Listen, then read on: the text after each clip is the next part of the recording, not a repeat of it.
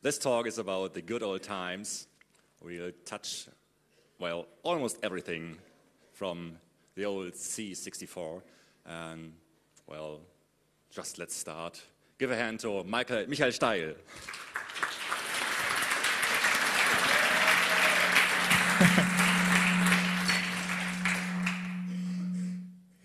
Ah, hi. Okay. Hi. Um, so, hello. I'm going to talk about the Commodore 64. You may or may not be here because of the whole retro wave. Retro is cool. Everyone does uh, emulation, runs C64 on their Xserves, has a C64 in their office next to the Mac Pro. There are people who even have license plates with Commodore 64 references. But there's a very important point I want to make here, which is you can do good chip design and bad chip design. And the C64 was a very good chip design. If you compare it to competitors from the same time, like IBM CGA card, it could address the same amount of memory, but could do graphics like this, and the Commodore could do graphics like that. Or with tricks even like that. And the other thing is, you can be dumb or you can be creative about coding. And if you have to do cyclic exact coding, there's so much you can do. And the question is, is this an art that has been lost? So I'm going to talk a bit about that kind of programming a machine. These are the topics that I'm going to address. I have 64 minutes and I have 256 slides. Commodore was founded in 1954 by Jack Tramiel. That's what he looks like today. They made calculators and later bought the company MOS Technology, which is a chip manufacturer. manufacturer. Um, engineering was he headed by Chuck Peddle. This is what he looks today. They made the 6502 CPU originally intended for industrial control, but they also made uh, the KIM-1, which is a computer kit based around the 6502. Uh, Commodore thought it would be a good idea to extend that design into a home computer. So the Commodore PET was sold for small businesses and the education market. But they also targeted the home computer business with the Commodore VIC 20, which was a very, very stripped down computer system. And its successor, the Commodore 64, with uh, 64 kilobytes of memory, which was a lot back then if you compared it to the market, uh, which was well over $1,000 if you wanted 64 kilobytes of RAM. This is all just the machine, not the monitor or the disk drive. And uh, C64 that sold for just 595 US dollars. There was a successor to the C64, the C128, which was compatible, so it sold pretty well, and the Plus 4 incompatible and didn't sell that well.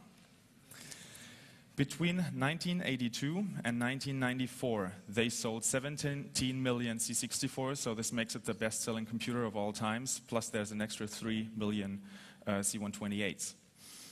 This is what a C64 looks like. There are several models of it. This is the original one. They made an updated flat version of it and went back to the original design because it was cheaper. They made a golden version, limited edition, they made a portable version and they made that one.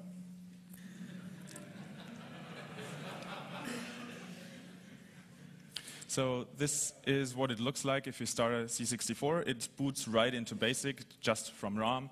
You can either type in your BASIC program if you want, or you can load something from disk or tape. To give you an impression on the graphics capabilities, this is a very, very early demo by Commodore themselves, the 1982 Christmas demo. Later demos looked more like this. And even later, more modern demos had pretty good graphics, did some 3D effects, or did some other very impressive stuff. Very early games, like Lode Runner, looked like this. Later games looked a little more complex. Or even later games used screen modes that weren't originally possible all on the same unmodified hardware. So let's look at the C64 from the outside first. On the right-hand side, you have two control ports. You can either attach two joysticks or a joystick and a mouse. On the back, you have the expansion port. You can attach pretty much anything there because the whole CPU bus is exported there. Um, any extension hardware. Um, mostly people attached um, extra ROMs there with uh, library routines and extra basic extensions for usability, uh, like the final cartridge on this picture. There's two monitor connectors, one RF connector and an S-video-like connector for monitors. The IEC serial bus for floppy drives and printers, a tape connector, and the user port for pretty much anything else. So this is what a typical system would look like, a C64 and a 1541 disk drive on a Commodore monitor in this case. Looking inside, this is the main board. On the left-hand side, you have the CPU, which is a 55, uh, 6510, which is very similar to the 6502. Two CIA 6526 controllers. These are I.O. controllers. And on the right, you have the SID 6581 sound chip and the VIC video chip. So let's go through all these components and let me explain them to you a little bit. The 6502 was designed in 1975 by a team of engineers that had been uh, at the company MOS. They had left Motorola. Were, engineering was headed by Chuck Peddle, and they are holding uh, the die shot there. The schematic diagram of it, you'll understand it in five minutes. This should give you an impression of what the assembly language looks like. Assembly instructions are 1 up to 3 bytes, so it's a 1 byte opcode and 0 to 2 bytes operand. It's an 8 bit CPU, it has three registers uh, the accumulator, which can do arithmetic and logic, two index registers X and Y. They can be used for indexing, can't do arithmetic, but they can be uh, incremented and decremented. There's a processor status with negative overflow 0 and carry and a few other bits, 16-bit program counter, and an 8-bit stack pointer or an 8-bit stack pointer register and an effective 16-bit stack pointer. The upper 8-bit are always uh, confined to 1. So this has some implications on the memory layout of a 6502-based system. The page 0 in RAM is special. I'll um, talk about this one later. Page 1 is the stack, so the stack is always uh, confined to those 256 bytes. The stack starts one, at one, uh, 01 FF and grows down. This is an overview of the opcodes that it supports. Of, out of a possible 256 opcodes, about 150 are available. Let me give you an impression on the instruction set. There are load instructions, store instructions of those registers. You can rotate and shift only the accumulator. You can increment and decrement memory and the X and Y registers. There's addition and subtraction um, instructions. They always um, add or subtract the carry as well, so you have to explicitly set or clear the carry. There's Boolean logic, there's compare, and there's the bit instruction. So all these load from memory or from registers, all these are the store instructions. There are some that do direct memory, read, modify, write. These are the arithmetic ones, these are the logic ones, and the column on the left are just like the, those, on the uh, those on the right, but they only change the bits instead of uh, writing back the, the result. There, um, for all those instructions, there are several addressing modes. So depending on which instruction, there are either more or less uh, addressing modes available. The first one I want to talk about is the immediate addressing mode. It's available for pretty much every, or it is, yeah, or for all the load instructions. Imme you have the hash sign there that uh, signals that it's an immediate load.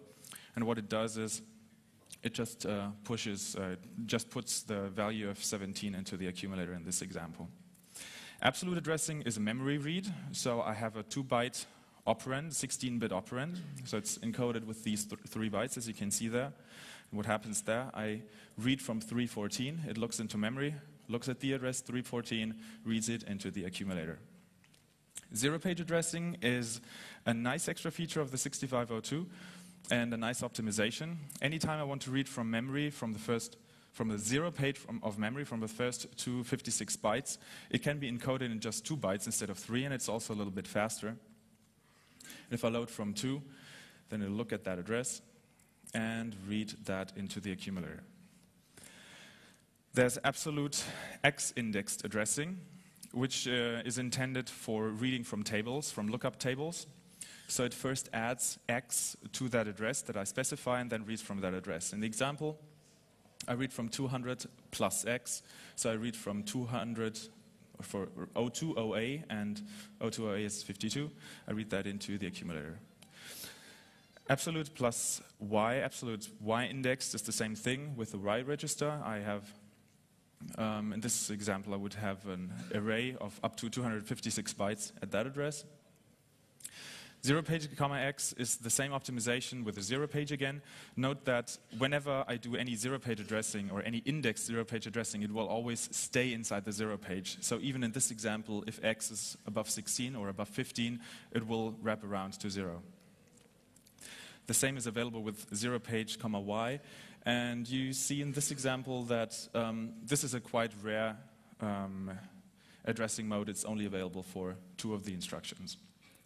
Zero page x indirect treats um, zero page as an array of pointers. So it first adds x to the address that I specify and then treats that as a pointer and reads from that address. So in the example, I look at the address 80 and, um, wait, 8, 80 plus the uh, contents of x, so it's 8c and 8d, so it reads that, which is C43F, little endian, which is the correct endianness anyway and then looks at that address and reads that. Zero page indirect y index looks the same, but it's different because it first, it's first indirect and then indexed.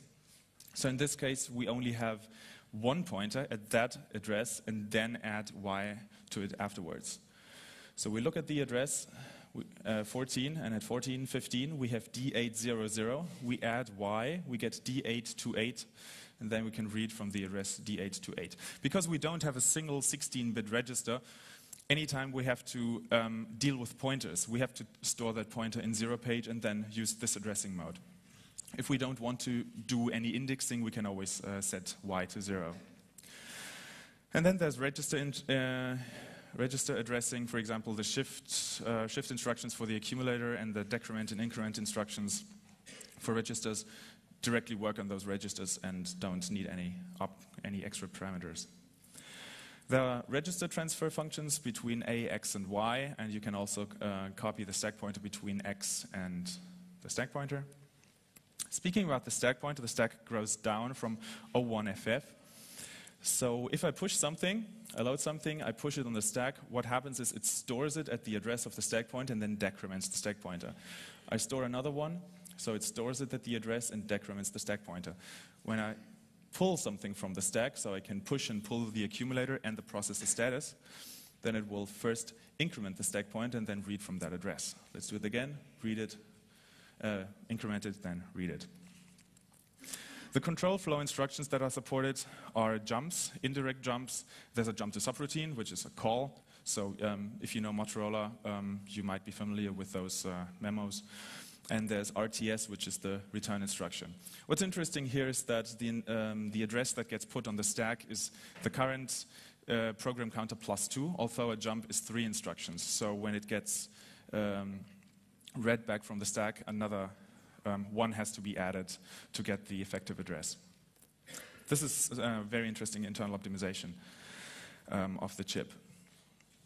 The, um, the, at the top of RAM, there are three vectors for interrupts, um, non-maskable interrupts, as well as the reset vector. The way interrupts work, we can see at the break instruction. Break is the same as an interrupt, but in software. It first pushes the program counter plus two, just in any, uh, just like in JSR. Then it pushes the processor status and then jumps to um, over the interrupt vector. You can distinguish between a software interrupt and a hardware interrupt in uh, that you look at the status that got pushed on the stack. There is an extra bit, the break bit, which tells you whether it was software or hardware. And a return from interrupt will just pop the, um, the processor status and then pop the return address. So because there's no way to push and pull X and Y directly, this is what an interrupt handler would look like. If you want to save all the registers, you push your accumulator, you transfer X and push your X, you push your Y, you have to clear your decimal flag. Not everyone does it. Uh, I'll speak about the decimal flag later. And if you return from an interrupt, you pull Y, you pull X, you pull your accumulator, and you return from the interrupt. You can branch depending on four of those flags, on all those arithmetic flags, negative, um, overflow, zero, and carry, with branch plus, branch minus, and so on. Um, branch carry and uh, branch carry clear and branch carry set can be used for comparing um, for, for comparing something for greater and for less. Like in this example, I compare something that I read from memory with five, and if the carry is clear, which means it's uh, less than 5, then it takes that branch. You can see that branches are encoded with a 1 byte relative um, address. So this is position independent, but you can only go up to plus 127 minus 128, counting from the byte after the branch. You can set and clear most of the flags directly. You can set and clear the decimal flag, which I'm going to talk about later. And if you set the interrupt flag, you will mask the interrupts and turn off all the interrupts. Um, setting and clearing the carry flag explicitly is necessary if you want to add and subtract, because it's only available with carry added as well. So you have to clear the carry flag if you want to add something, and you have to set the carry if you want to subtract something. So now about the D flag, the decimal flag, there's a, actually a patent on it. They had a very clever implementation on how to do binary coded decimal, which nobody really uses, especially not nowadays, but um, it seems to have been pretty important back in the day. Normally, if you add 9 and 2 in assembly, you'd get OB. It's just a standard hexadecimal number. But if you set the decimal flag, it will do a decimal adjust after each addition and subtraction. So if you add 9 and 2, you will get a hex 11. This is how it's implemented, but that's not important right now. Let's talk about the, a very important instruction, which is the NOP instruction. I tried to put everything that it does on a single slide, which is hard, but I tried it anyway. So now let's look at a, at a small snippet of code. This code that I'm going to show you is taken from Commodore Basic version 2 from the original, from the PET update. Um, it's written by Microsoft and it's actually Easter egg code which will print Microsoft if you um, pass a parameter of 6502 to the wait instruction. So what it does, it, it loads, this is a zero page load, the low byte of the, um, of the first parameter, compares it to the low byte of 6502. If not, it branches away, um, tests the high byte, subtracts it, so if it's zero, um, it would also be okay. It's not equal, so we branch away. We store that, that's a zero, so we just initialize a pointer here. We also copy the zero to the Y register. This is the high uh, byte of the screen RAM address, so we store the screen RAM at parameter one, so we can use that as a pointer in zero page. This is the counter of how many um, characters in Microsoft. We load uh, one character from the text. The text is actually obfuscated in a way that the upper bits are garbage, so we clear those upper bits and we store it in screen RAM. Then we increment the pointer for uh, indirect Y addressing, branch not equal for the loop. We increment the upper half of the pointer if necessary. We decrement the counter for, um, for reading loop, and then there's uh, another loop we can print Microsoft multiple times. So this code was, it's pretty likely that this code was written by Bill Gates himself. There's uh, pretty good evidence that it was written by him, and if he can write 6502 code, so can you.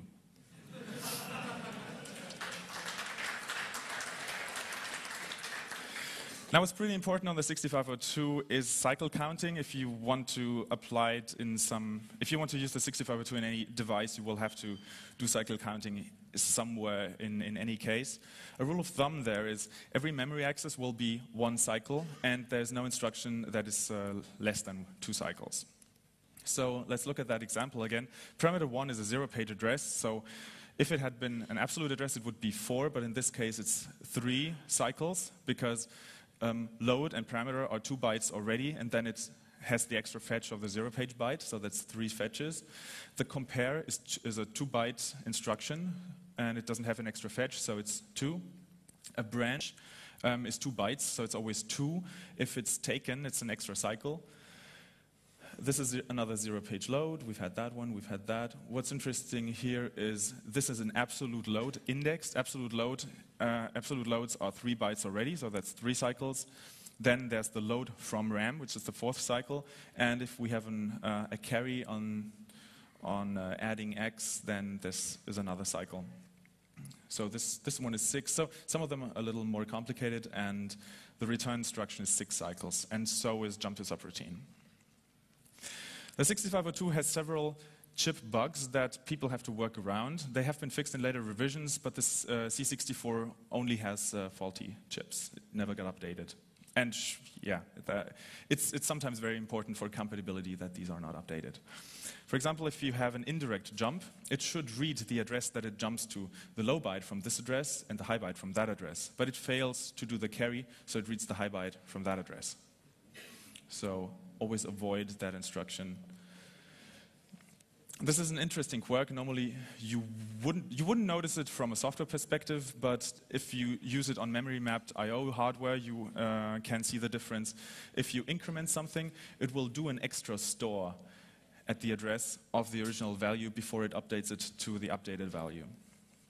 And there's something similar with a ghost read. If you store something X indexed, then there's another load at the original address, not at the address plus X, but the original address. So in this example on a C64, it would acknowledge all interrupts, even if it shouldn't touch that address at all.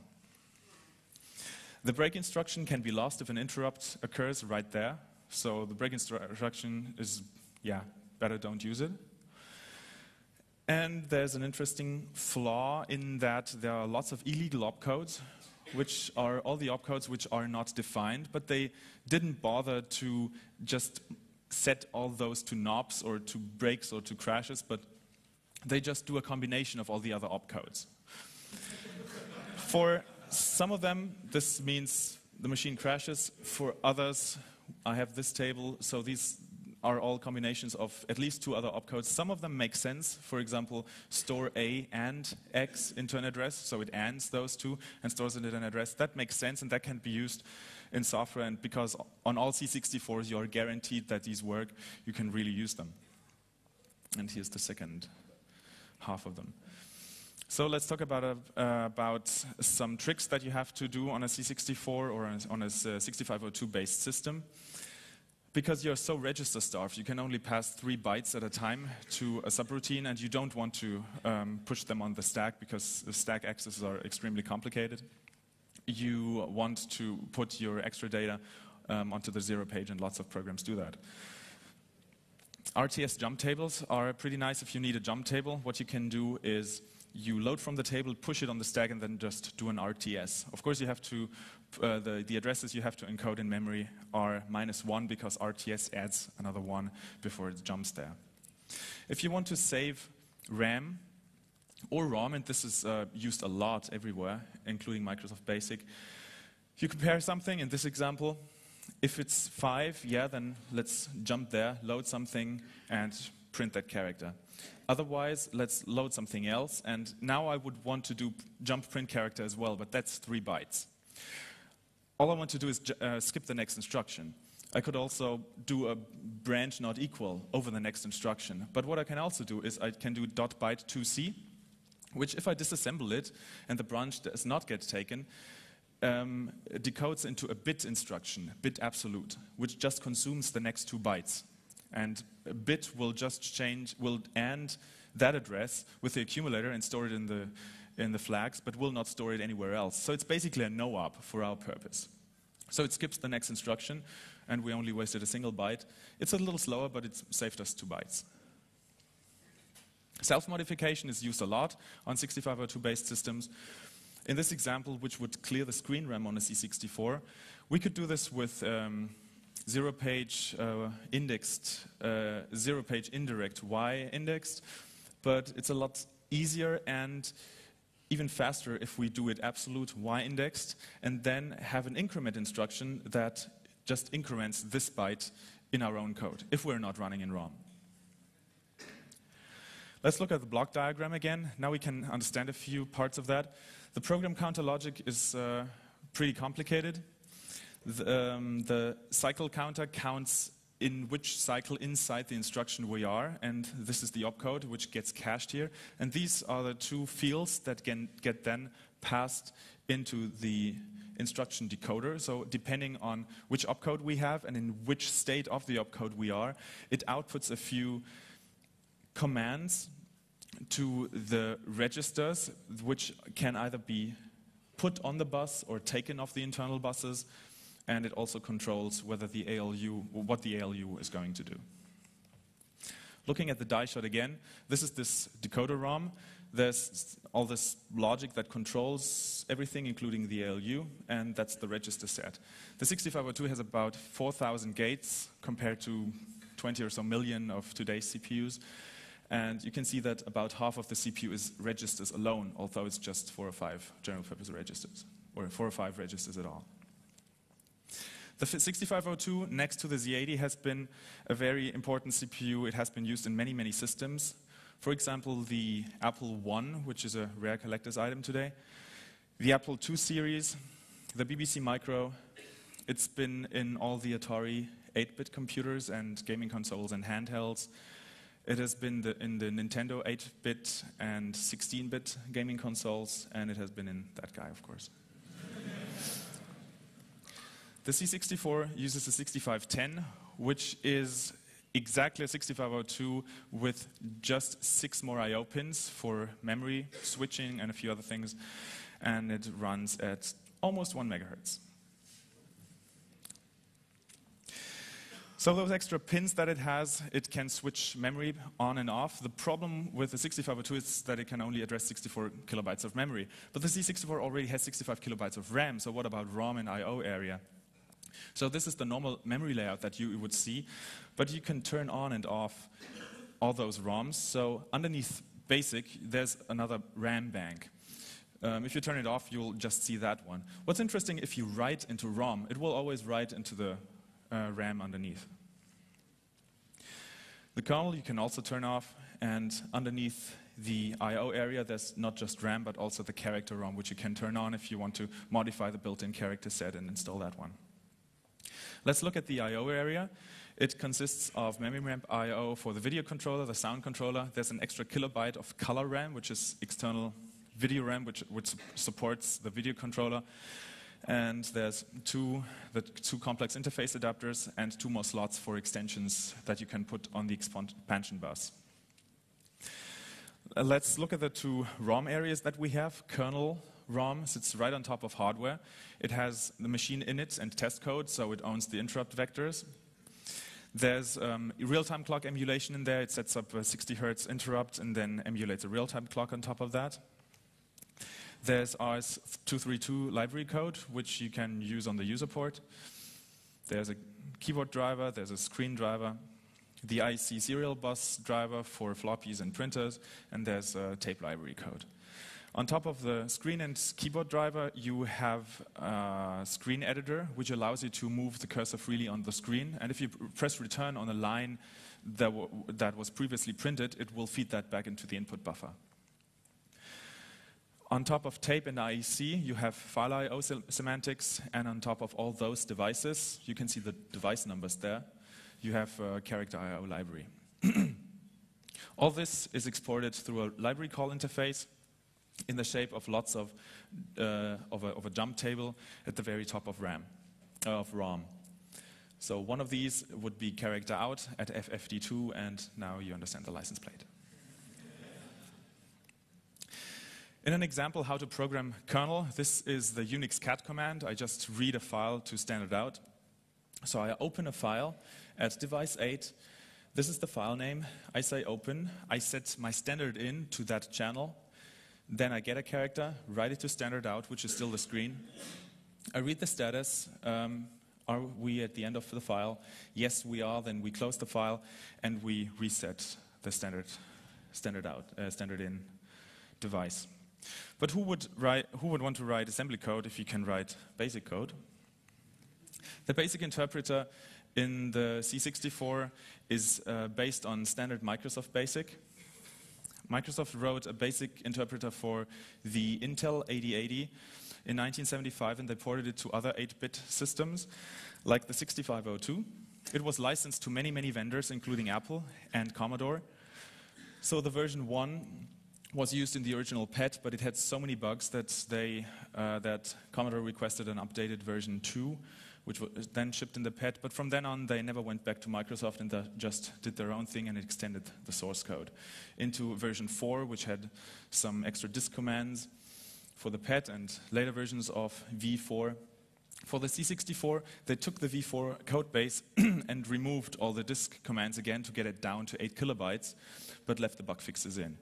So the C64 and the VIC-20 have um, the updated but stripped down Commodore Basic version. This is the instruction set of um, Microsoft Commodore Basic, which is pretty minimal. Um, the orange ones are the ones that Commodore added for disk I.O. Um, the, the functions are pretty interesting because there's a very good floating point library built in that can also be used from other assembly programs if you need floating point support. This is a very generic basic. It does not have any hardware dependencies other than a 6502 and um, uh, calls out into kernel. So it doesn't do much more than standard I.O. calls into the kernel. So in BASIC, you can use all this memory from 0800 up to A000, and the RAM bank up there is, cannot be used by BASIC and is um, especially intended for um, support code in assembly that you can put there this gives you the 38911 basic bytes free. But there's basic, and it's not really user friendly. There's a graphical um, uh, operating system, GEOS, which looks like this. It's pretty much an, it's a quite exact clone of the original 1984 Macintosh user interface, with also pretty much the same feature set, which is quite impressive for a 64 kilobyte 8 bit system. Uh, Berkeley Softworks, the manufacturers of GEOS, also made some extra software for that, including GeoCalc, which is a um, spreadsheet application. GEOS was pretty slow. Um, a database application, as well as a desktop publishing application. GEOS does not use kernel or BASIC at all, so it turns off all ROM, has its screen RAM, its uh, damage backup uh, screen RAM. A lot of uh, code, some uh, internal data, and there's some memory left for the application. And GEOS also has a kernel-style jump table there. But if you don't want to go through any libraries but want to program the, hardware yourself, you have to go through all those chips. So there's the complex interface adapter, there's two of them. They all have 16 uh, bit general purpose I.O. pins, either input or output configurable per chip. Both have each 16-bit timers and a built-in time of day clock, which is not used by kernel. So the CIA1 is used uh, by kernel for the system timer, and it emulates the, um, the clock on top of that, and also does the, the keyboard, uh, keyboard uh, driver in the interrupt handler. CIA1 also handles the two control ports with its general I.O. pins, and also does the keyboard. This is the keyboard matrix. Um, the C64 has about 64 keys, so they fit nicely into an 8 times 8 matrix. One side of the matrix is uh, set to output on port A, and the other one is set to input on port B. And now if I press right shift, I short that one connection. And if a driver then um, sets each of those outputs to 1, then it will see that here's the shortage, and we'll see that 6 and 4 are pressed, which is right shift. CIA2 manages the um, whoops, manages the IEC bus as well as the user port. Then there's the sound chip, the sound interface device, SID 6581. It consists of three independent voices. Each voice so this um, SID is very interesting in its design uh, because it's an analog and a digital analog um, device. Most of it gets controlled uh, by digital, digital, logic, but um, mixing, for example, is analog and filters are analog, which provides some nice effects and is very hard to emulate. It has those three voices, and each of those voices can either do can either be sawtooth, rectangle, uh, sawtooth triangle, pulse, or noise. The volume gets controlled by an envelope and by, by a standard attack, decay, sustain, and release envelope, which you can define per voice. and there are the analog filters, low pass, high pass, or band pass. For extra effects and for special purposes, you can make uh, use of ring modulators or oscillators sync. Don't ask me what all that means. I'm not a digital, digital music person. But if you want to read all this, it's in a patent about the SID. One thing I know about the SID is how you do digitized music or sampled music. Because there's a flaw in the original SID, every time you change the volume control, the master volume control, which is a 4 bit register, it does a short click. So if you do that repeatedly, you can put anything on the speakers. So if you have your digitized music, you just have a big loop and put it into the volume register. This also gives you a fourth voice. So many musical pieces use that as um, typically as the drums, as an extra drum voice. What's a lot more interesting to me is the video interface controller, 6569. There's, this is the PAL version. There's the NTSC version, which is the 6567. Um, um, the VIC um, supports a 40 times 25 screen or a 320 by 200 graphics mode. It can address 16 kilobytes of RAM and has 16 built-in colors. This is the built-in C64 character set. There's two character sets. This is the uppercase character set, which is default, and there's a lowercase character set, which you can easily switch.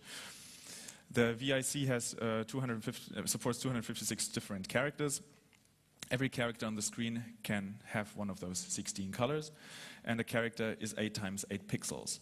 So these are encoded with a bitmap, ones and zeros, and each line is a byte encoded in character ROM. So if the VIC wants to find out what uh, color a pixel on the screen is, it first looks at screen RAM. This is an index to a byte in the character set. And then if it's a 1, it takes it from color RAM. And if it's a 0, it takes it from the screen background, which is global for the complete screen. There's enhanced background mode. In this case, you only have a third of your character set, but you can have four different background colors and also combine it with different font colors. In this mode, screen only the bits 0 to 5 of screen RAM are the index. Color RAM, same thing.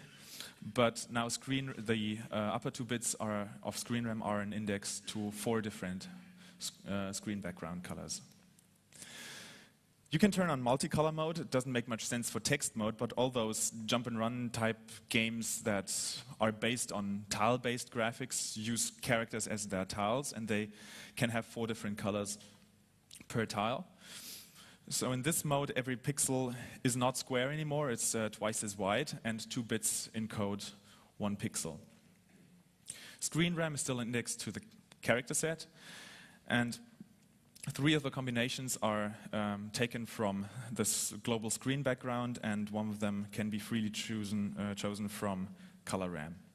If you um, set the MSB, then you turn multicolor mode off per character. That's also possible. Then there is graphics mode or bitmap mode. This is a very ex uh, early example by Commodore themselves. But you cannot only do uh, the 320 by 200 in two colors, you can have multiple colors, but there are some restrictions. So if you look very closely at those graphics, you can see it's square pixels, yes, but if you look closely at that one, you might notice that if you put that grid over it, that every 8 times 8 square can only have two different colors. So this is encoded like this. You, you have ones and zeros for those bits as well, so it's encoded just like character RAM. And if you have zeros, it takes it from screen RAM, which is so screen RAM is now unused because it all takes it from 8, 8 kilobyte bitmap in memory. Um, zeros gets taken from 4 bits from screen RAM, and ones also gets taken from screen RAM. So you can have those two colors, each one out of 16.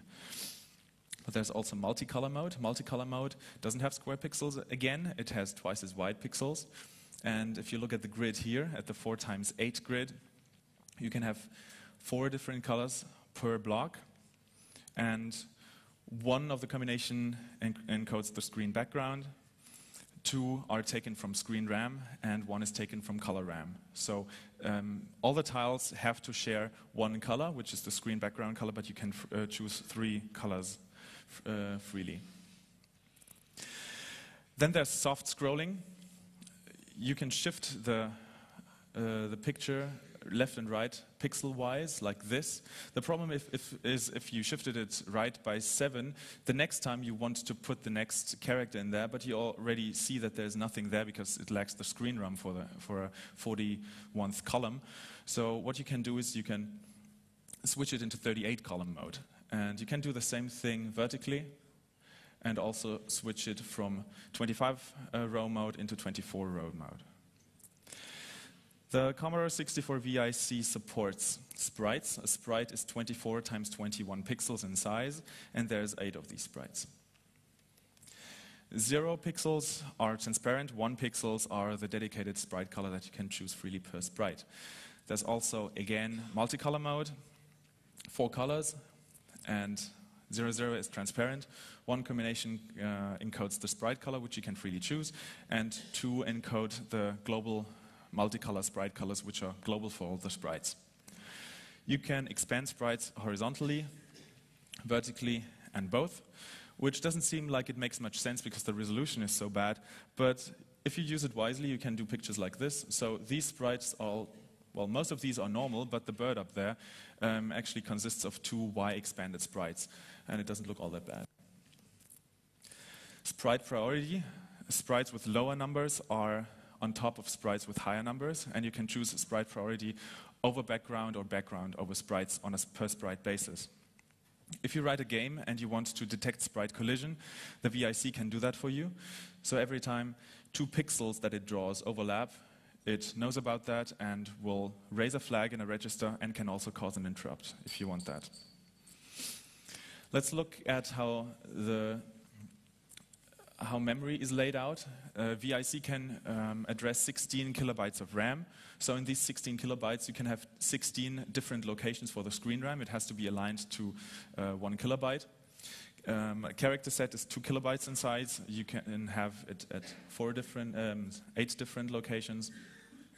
The bitmap is eight kilobytes, so you can have two different locations for the bitmap there. And the sprite is 64 bytes. So there's up to 256 different sprites that you can specify, but only eight at a time. So the uh, VIC addresses 16 kilobits at a time, and it doesn't have its own dedicated RAM. It uses the C64's main RAM. So there's four different banks, and you can switch between those banks and put your video RAM wherever you want. But you have to be careful because in two banks, which is bank 0 and bank 2, there's an area where you cannot address RAM, but every time the VIC addresses something there, it will see character ROM instead. So you cannot put your own data there, but if you want to use the built-in character ROM, you can use it on those banks. So let's go more into the internals of the VIC. So I told you that it has a resolution of 320 by 200, but this is only the visible part, but the, the invisible parts are just as important, especially if you want to do some tricks. So let's take away the, away the monitor and look at the overscan area. This is the area that the VIC really draws, but there's even more. There's the H-sync and V-sync areas, which don't draw any pixels, but they're there in the timing anyway. I'll show that on the next slide. But the timing works like this. If the raster um, if the raster beam draws the picture, it uh, will draw it from left to right and line by line, and the time of one character on screen is exactly one machine cycle. So the visible screen would be 40 cycles at 1 megahertz, and a whole raster line is 63 cycles. So this is how the raster beam would paint the picture. It goes from line to line, from left to right, and also in the H-sync um, area and then also in the V-Sync area. And the raster register, which is located at D012, is then updated. So if at this position, I just in the middle of a line change some register of the VIC, it will change immediately and I can do some nice effects there. Like if I change the background color in this line, the VIC will start drawing a different background color in the middle of that line and continue drawing that. So if I do this on the whole screen, up to the end of the screen, it will just continue with a white screen there. If I continue doing that, it will draw a complete white screen on the next screen, but if I turn it back off, I can have this for one frame. If I want to do this for every frame, and if I don't want to compare the raster register all the time, I can set a raster interrupt. So I set an interrupt at those red points. So I set it to the first red point first, so it draws this half picture, the interrupt hits, I change the background color. It now draws a white background. Then I set another interrupt, and it hits, and I set it back, so it draws the rest. This is done extensively in games. Like here, we switch between text mode and actually that graphic is uh, text mode as well. It's tile-based mode, and I need two screen, uh, uh, two raster interrupts to do this screen splitting. Another example here is this uses at least three raster interrupts to do the three parts of the screen which scroll differently. And the demo we saw uses screen splitting a lot as well. But what's also interesting about this demo is it uses the area outside of, outside of the screen area in the border. So first there's the raster bars, which are pretty easy to do because all you have to do is change the background color and change the border color at the same time, then delay a few cycles until you're in the next line and repeat the whole thing. And there's extra graphics down there. That is a little bit more tricky. I'll show you that trick now. You remember that we can uh, switch the screen between 24 uh, line mode and 25 line mode, so this is 24. If we look at the bottom left of the screen, this is 25 lines, this is 24 lines.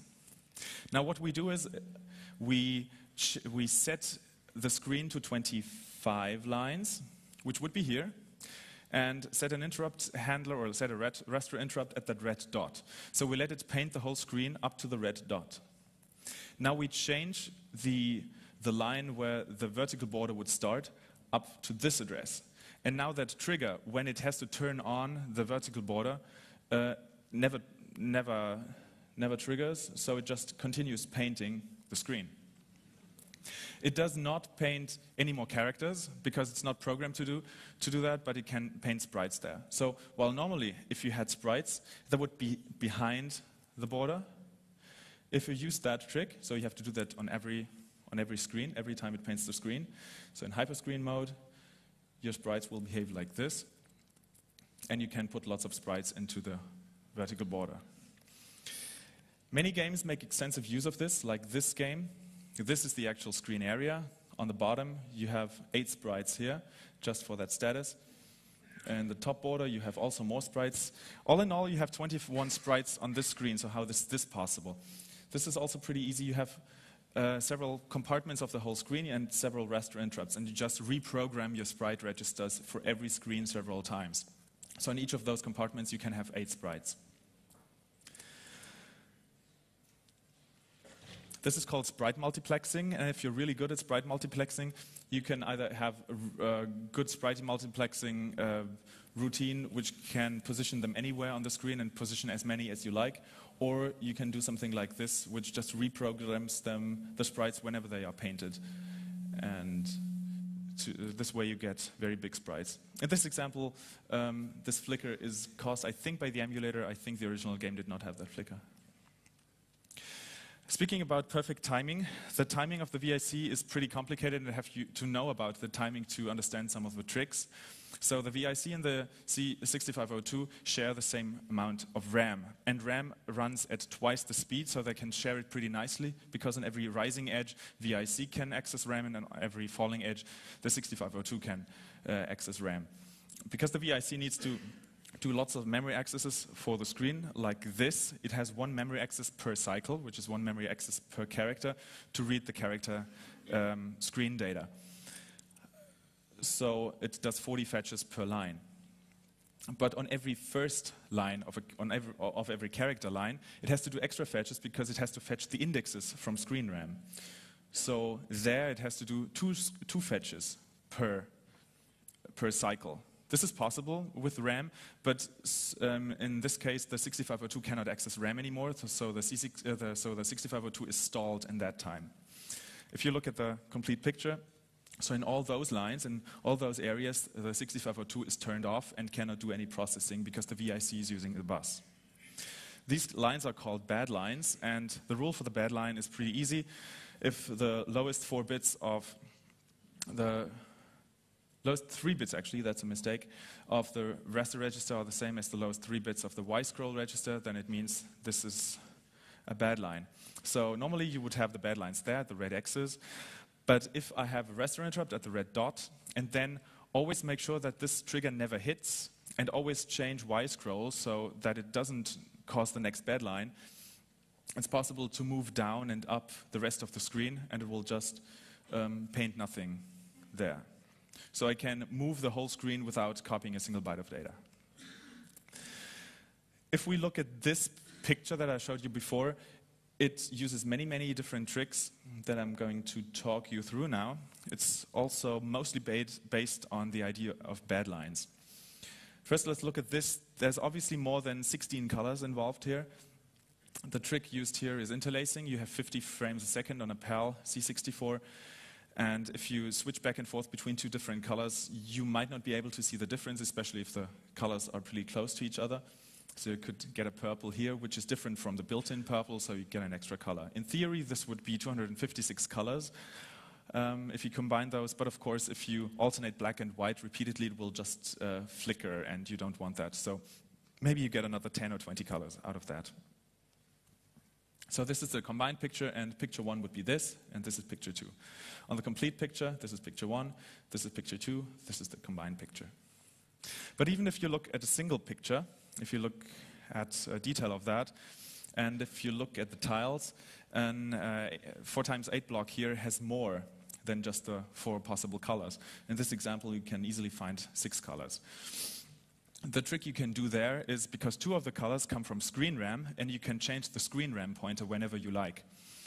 Uh, but you have to cause another bad line so that it rereads the screen RAM. So you do this, you cause an extra bad line, so pretty much all the screen is bad lines, and it will refetch all those. And what you have in effect is not those four colors, but in every four times two, you can choose four colors freely with some restrictions though. This is called FLI, Flexible Line Interpretation. But there's more tricks used in this picture. Um, there's a lot of border area used. So if we look at the complete picture, the bottom border, we know that already, that's hyperscreen. There's lots of X expanded sprites there. You can see that the resolution down there is not as good, but it's hardly noticeable. And there's also sprites on the left and on the right. This is done with the same trick uh, with uh, the horizontal screen size, but you have to be cycle exact this time because it's only one single character that the shift gets uh, that the screen gets shifted left and right. So you have to be perfectly cycle accurate there, and you have to do it in every line. So these are sprites as well. And on the top, you just overlay a few more sprites to get that. Another trick you can do if you cause a bad line in the middle of the screen, it will just start drawing the next line and fetch the next line uh, in the middle of the screen. So this way you can shift the screen, also without copying anything. So normally with soft scroll, you would soft scroll the first eight pixels and then copy your complete screen, which is great for a text mode screen, but with a graphic screen, you don't have the time. This, this would take two or three frames just to copy the whole data. So you can just move it without um, actually moving a byte. This is called VSP variable screen position. The game I showed you before, Mayhem in Monsterland, uses this. This is running in bitmapped mode. This is a multicolor bitmap, and it just horizontally um, shifts the screen and copies the new data on the sides. Another trick you can do is you can compress a line. This is called line crunching. If you just cause a bad line to make the next um, character line draw already without finishing the current line. If you do this 25 times um, in a row, you can compress the whole, whole, screen into 25 lines. So this uh, gives you the opportunity to move anything up and down as much as you want. If you come, um, yeah, the problem is that you have lots of garbage on the screen. But if you turn on multicolor and extended background color, the VIC will interestingly always output black pixel on top of everything. So this will, um, you won't see the garbage there. But you can put sprites on that to, to work around the black bars. If you use that in a game, it will look somewhat like this. This is Fred's back. You have sprites up there, and you have a real bitmap down there, down there with all the colors, and you can uh, move that in all directions. This is called AGSP, any given screen position. Um, normally, if you want to do something cycle exact, like in this example, I, I wanted to, to uh, change the screen color and then change it back, it flickers a little. It flickers because um, if, the, if an interrupt occurs, it always has to complete the current instruction, which can be an arbitrary number or which can be a different number of cycles. So there's a trick that I can smoothen this, which is I have a raster interrupt and then I set a raster interrupt to the next line and uh, set a different interrupt handler to that line. I acknowledge my current interrupt, clear the interrupts to make interrupts possible again, and then I do a few NOPs, and then the interrupt will hit. And because it was a NOP that the interrupt hit, so I know a NOP is two cycles. It was either in the first cycle or the second cycle of the NOP, so I'm pretty close already, so it's zero or one difference. But then in my next handler, I do a lots of NOPs to go to the end of the current raster line. Then I load the raster register, compare it to the line afterwards, and if it's the same, I go to the next instruction. The trick there is that the branch, if it's taken, takes three cycles. If it's not taken, it takes two cycles. And I just um, do the load so that it will just do the tr trick for me and smoothen the last cycle. And so I'm always cycle exact, like in this example. So we, we've looked at all the chips now. Um, there's uh, the CPU, there's the CIAs, the SID, we've looked at the VIC, we've looked at RAM, ROM, and the PLA. The PLA is the one that does some memory management logic. In uh, normally would, you would have this layout. You can turn off ROM, uh, kernel ROM, you, uh, basic ROM. You can also turn off basic and kernel ROM. There's a possibility to turn off every, uh, everything. And if you have external ROM in your cartridge port, you can uh, map that into your address space. You can map the other part so that it replaces basic and you can map both in. There's another interesting mode, which is the Ultimax mode. The Ultimax mode was a gaming console based on the C64 hardware, which was only sold in Japan and is very rare now because it didn't sell well. It only had 4 kilobytes, or it had less than 4 kilobytes of RAM, and if you're in this mode, so it supports Ultimax cartridges, and if you put those in, that it will go into this memory layout. The tape connector is uh, pretty straightforward. It only has a sense motor and read and write pin. Those go to the CPU's registers or into to one of the CIAs. The IEC bus is a serial bus which daisy chain drives. It has these connectors. Those three are the interesting ones. It has is data, clock, and attention. The bus protocol works like this. Uh, it's not important to understand the details here, but um, the, the, C64 raises the attention line and sends the command, which includes the drive's uh, number, um, sends listen, unlisten, talk, and untalk to arbitrate the bus. Because the bus is so slow, because there was originally a chip bug in the VIC-20 in the 1541 disk drive, um, this protocol had to be done in software, and it's so slow that um, third-party manufacturers did extra extensions that ran a different bus protocol, like the Epyx fast load cartridge or the final cartridge, which were, which were up to 20 times faster. The 1541 is the major C64 um, floppy drive. There's a second version of it. It works on five and a quarter inch single side double density disks with 35 tracks out of the 40 possible ones. The number of sectors is different per track, and you have 380, um, 600 uh, 683 blocks, which is about 170 kilobytes. This is what a track looks like. You don't, it doesn't use the index hole. It has sync marks, which is all ones, so it cannot use um, so it has to encode the rest of the data so that there are no all ones. This is the header of a sector. There's another sync mark, and this is the actual sector data, GCR encoded. And there's the next sync mark. The directory format looks like this. The file system looks like this. There's the uh, block availability map and the disk name, 16 characters. And also on track 18 is, um, are all the all the file names, which are 16 characters, which is pretty modern. This is what the drive mechanism looks like, and this is the electronics. It's a whole dedicated 6502 computer with uh, two VIA controllers, with uh, ROM, RAM, and a PLA. The memory map looks like this. It has four kilobytes of RAM. It has an I/O, uh, an I/O area with two VIAs. It has ROM. Interesting is the old um, Commodore drives had two CPUs, one for the bus and the file system, the other one for the drive mechanism. On this 40, 1541, it was shared on one CPU. It switched between those two. One wrote job code, and the other one wrote back the error codes. There's also a double-sided version. There's a 3.5 inch version, which wasn't as popular because not as compatible. There was even a hard disk.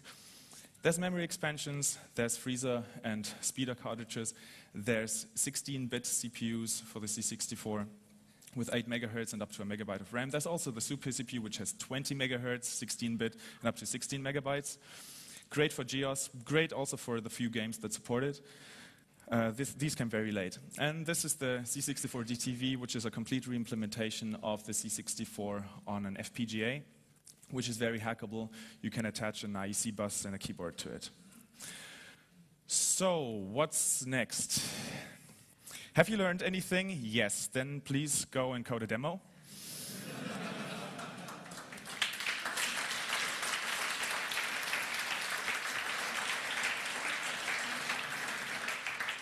And if not, but if, if, you know about any other systems, please do a presentation on any of these other systems. I would so be, be so interested in the internals of the Amiga or the Apple II or all those systems. Thank you.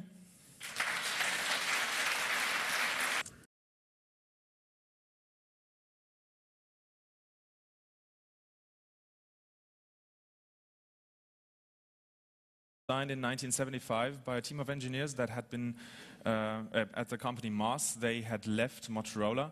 They were, engineering was headed by Chuck Peddle, and they're holding uh, the die shot there. The schematic diagram of it, you'll understand it in five minutes. This should give you an impression of what the assembly language looks like. Assembly instructions are 1 up to 3 bytes, so it's a 1 byte opcode and 0 to 2 bytes operand.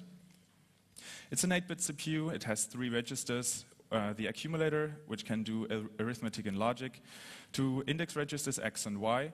They can be used for indexing, can't do arithmetic, but they can be uh, incremented and decremented. There's a processor status with negative overflow, zero and carry, and a few other bits, 16-bit program counter, and an 8-bit stack pointer or an 8-bit stack pointer register and an effective 16-bit stack pointer. The upper 8-bit are always uh, confined to 1. So this has some implications on the memory layout of a 6502-based system. The page 0 in RAM is special. I'll um, talk about this one later. Page one is the stack, so the stack is always uh, confined to those 256 bytes. The stack starts one, at one, uh, 01 FF and grows down. This is an overview of the opcodes that it supports. Of, out of a possible 256 opcodes, about 150 are available. So let's look at the C64 from the outside first. On the right-hand side, you have two control ports you can either attach two joysticks or a joystick and a mouse. On the back, you have the expansion port. You can attach pretty much anything there because the whole CPU bus is exported there. Um, any extension hardware. Um, mostly people attached um, extra ROMs there with uh, library routines and extra basic extensions for usability, uh, like the final cartridge on this picture. There's two monitor connectors, one RF connector and an S-video-like connector for monitors, the IEC serial bus for floppy drives and printers, a tape connector, and the user port for pretty much anything else.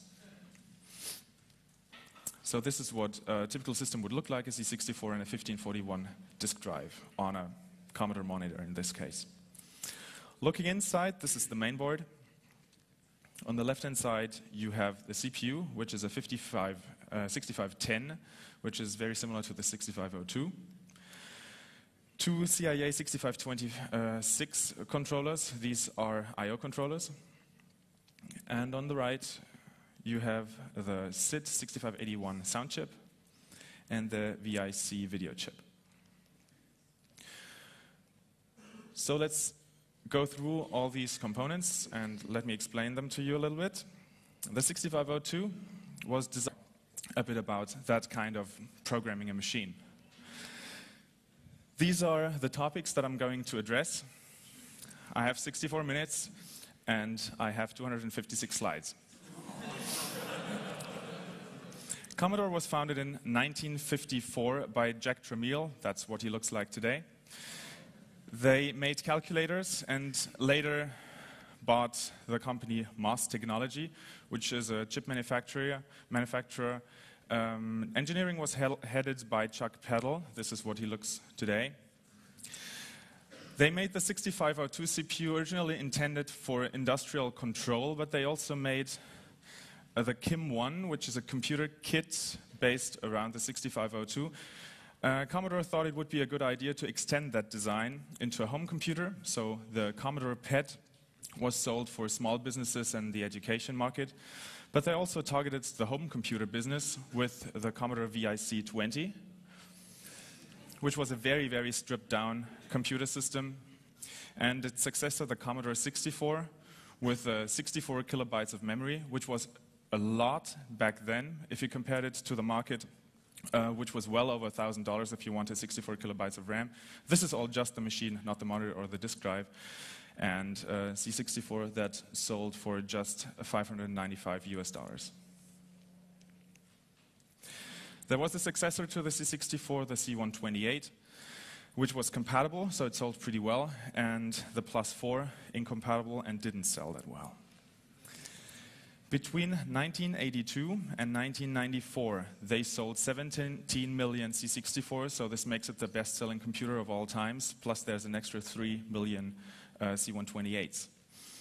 This is what a C64 looks like. There are several models of it. This is the original one. They made an updated flat version of it and went back to the original design because it was cheaper.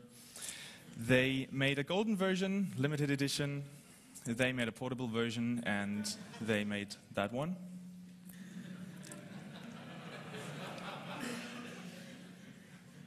So this is what it looks like if you start a C64. It boots right into BASIC just from ROM.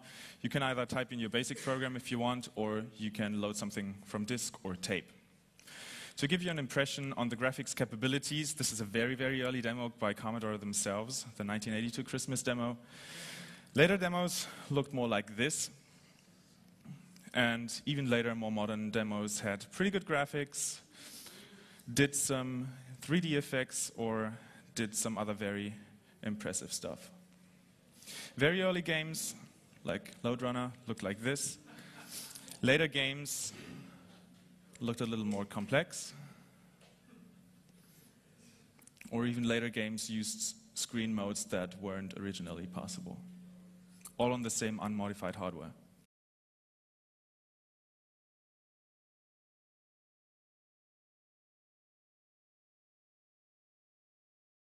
This talk is about the good old times. We'll touch, well, almost everything from the old C64. And, well, just let's start. Give a hand to Michael, Michael Steil.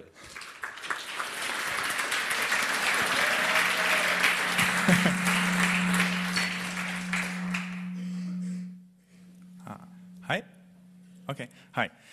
Um, so, hello, I'm going to talk about the Commodore 64. You may or may not be here because of the whole retro wave. Retro is cool. Everyone does uh, emulation, runs C64 on their Xserves, has a C64 in their office next to the Mac Pro. There are people who even have license plates with Commodore 64 references. But there's a very important point I want to make here, which is you can do good chip design and bad chip design. And the C64 was a very good chip design. If you compare it to competitors from the same time, like IBM's CGA card, it could address the same amount of memory, but could do graphics like this, and the Commodore could do graphics like that. Or with tricks, even like that. And the other thing is, you can be dumb or you can be creative about coding. And if you have to do cycle exact coding, there's so much you can do. And the question is, is this an art that has been lost? So I'm going to talk